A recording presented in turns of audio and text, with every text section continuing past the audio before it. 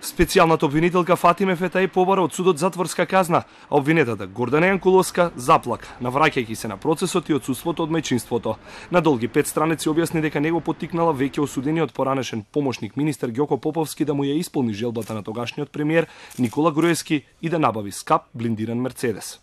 Од исказите на сведоците се заклучува дека потребата за набавка на такво возило се провлекувала со години во планот на Министерството и не станува збор за ничија желба, туку обврска на Министерството за обезбедување на највисоки државни власти и странски представници.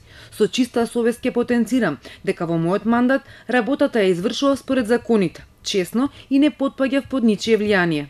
Во завршните зборови Анкуловска пресмета дека од вкупната цена на Мерцедесот екраните на задните седишта чинеле незначителни 1600 евра, објаснувајќи ги телефонските разговори како доказ на сео меѓу неа и Никола Груевски, во кои зборуваат за набавката на возилото. Побара судот да не ги цени осумте аудио снимки, единствените докази против неа, бидејќи не се обезбедени од судот.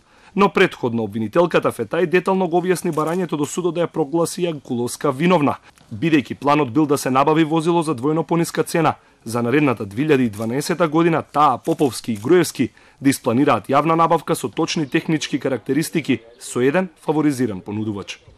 Обвинетата Гордана Јанкуловска при набавката на Мерцедес С600 Гард била свесна за своето дело и сакала извршување на истото.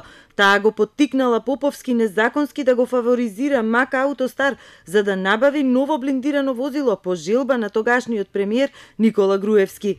Фетај како најтешка околност на судот ја посочи положбата министер при извршувањето на делото, а од судот побара да има предвид и незината семејна состојба.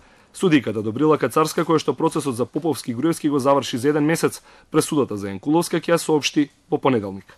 За Груевски и Поповски кривичниот суд веќе донесе пресуда, со која Груевски доби две, а Поповски 6 години и 6 месеци затвор. Тие се жалеа до апелацискиот суд Скопје, кој одржа јавна седница по жалбите за првостепената пресуда, но одлука од второстепениот суд и по подолго од еден месец се уште нема.